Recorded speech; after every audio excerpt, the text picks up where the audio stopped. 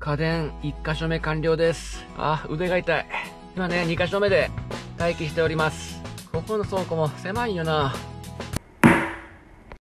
はい、今、積み込み完了です。積み込み完了。2箇所目でもね、2時間待ちました。1箇所目で2時間待って、2箇所目で2時間、家電ばらずに。あー、疲れた。めっちゃしんどい。今日ね、納品の方も、神体バラ12トンやったんで、久しぶりに答えたわ。マジ疲れた。すげえ疲れた。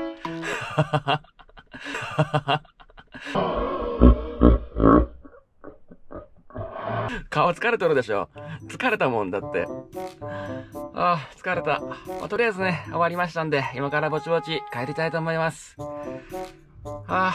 あ。まあいいか、終わったからね。よし、ぼちぼち元気出してさ、帰りたいと思います。今、現在5時、夕方5時、100%渋滞しとるな。早く帰ろう。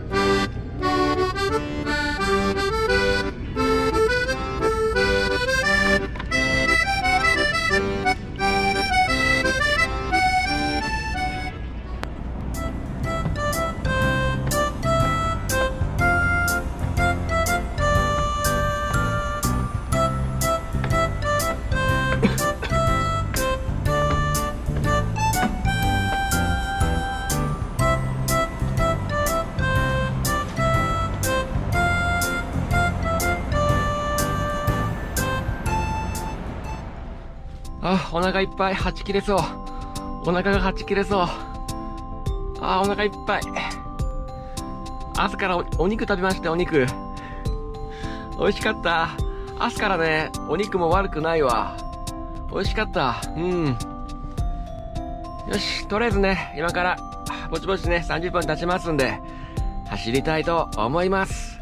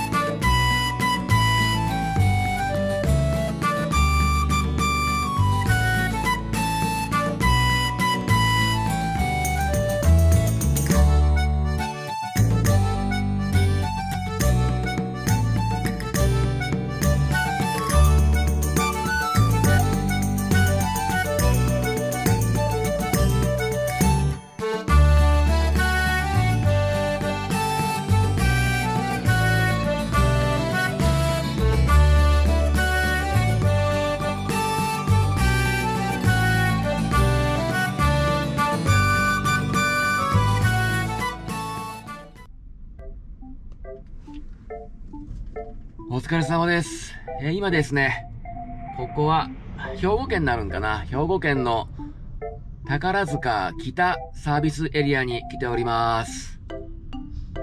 あ、疲れた。ここでね、え、30分休憩取りたいと思います。4時間経ちますからね、30分休憩取ります。ああ、今日ね、もう朝から体が痛くって、体が、体とあと腕、昨日ね、12トンバラおろしってのをやりましたんで、やっぱり、来ましたね、筋肉痛。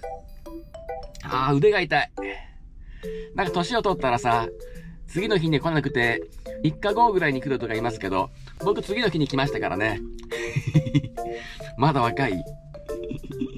ああ、でもほんと腕が痛い。ああ。ああ、もう体がカチコチや。カチコチ。あとちょっと心配事がありまして、心配事があって、あとね、残りの燃料が、あとレベル、さっきまでね、レベル2やったんですよ。今3になってますね。ちょっと増えとるな。なんでやろうトラックが傾いたけいかな。これさっきまでレベルが2やったんですよ。で、2のね、2の途中ぐらいから、ブザーが多分鳴り始めるんですよ。で、そうなったらちょっと焦るんで、早めに燃料入れときたいんですけど、今ね、今ね、宝塚北にいるんで、僕ね、宇佐美のカードしか持っとらんのですよ。宇佐美しかね、燃料を入れることできないんで、この先宇佐美って言ったら、三木サービスエリア、兵庫県の三木サービスエリアまで行かないと、給油できないんで、そうなるとね、こっからどれぐらいやろ？まあ、宝塚北、大郷、権現湖、三木やったかな？あと50キロぐらいもうちょいあるんかな ?60 キロぐらいあるんかなまあ今現在ね、レベル、ゲージがね、3なんで、多分大丈夫か。うん。まあ、とりあえずね、燃料、2機で燃料入れて、また走るという形、取りたいと思います。よし、とりあえずここで30分休、30分休憩取りたいと思います。買い物行って、バッグ持って行っとらんやった。また行かんといけ。あとレベル2ですね。あと60キロぐらいなんで、多分大丈夫と思う。このゲージが1個、何キロぐらい走るんやろうか何リッター入ってるんやろうかそれがわからんのよな、このトラック。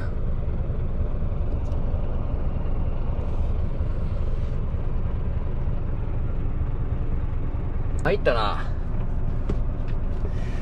とりあえず燃料をね、入れに、三木サービスエリアまで向かいたいと思います。430終了です。